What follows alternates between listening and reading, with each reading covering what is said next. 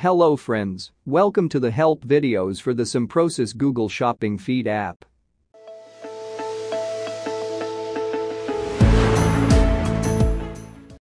In this video, we will see how to verify and claim the Shopline domain in your Google Merchant Center.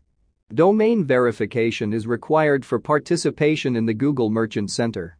It confirms the authenticity and ownership of your website, protects data integrity and security, enhances brand trust, and enables effective e-commerce operations on Google's platforms. Here, there will be two scenarios. The first is how to verify and claim the website in your Google Merchant Center. The second one is to claim the website that you have already claimed with some other Google Merchant Center. Let's get started with the first one. Please open your Google Merchant Center account and make sure the Merchant Center ID is the same as what you have linked with our app.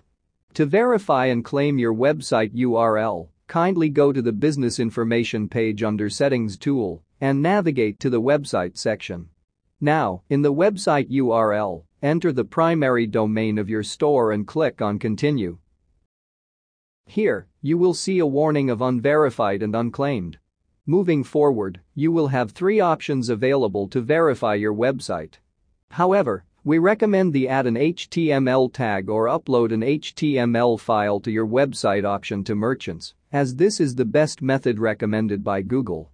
Now, after selecting the first option, you will see an HTML tag generated for your website at the bottom of the page.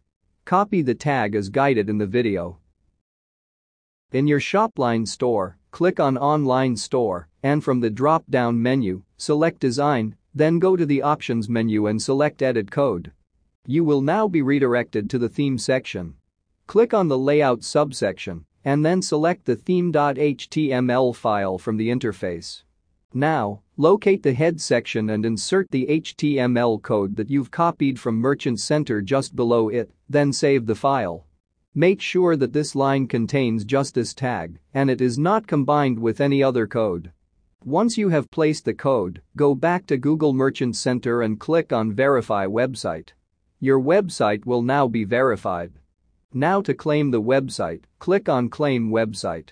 Your website URL has been verified and claimed. Let's take a look at the second scenario, where you wish to claim the website that you have already claimed with some other Google Merchant Center. If you have already verified and claimed the domain in some other merchant center, it will show you an alert warning like this. However, you can still proceed with claiming the URL. It is recommended to continue with the same Google Merchant Center as long as you don't know which other merchant center has this domain verified. Once the domain is verified on this account, go to our app, scroll down to the bottom of the integration page, and click on Test Your Domain. Your domain should be verified. In case the domain verification fails, kindly get in touch with our support team at this email address. Support at simprosys.com. Further, if you know which other Google Merchant Center has this domain verified and you wish to use it, only then change the Merchant Center linking in our app and authenticate it by clicking on Change Google Account in the App Settings page. You can do this by selecting the Change Link button and authenticating the required merchant center. Once you have authenticated the other account, domain verification shall go through. Kindly visit the integrations page to check if the process has been completed successfully. Hope this helps.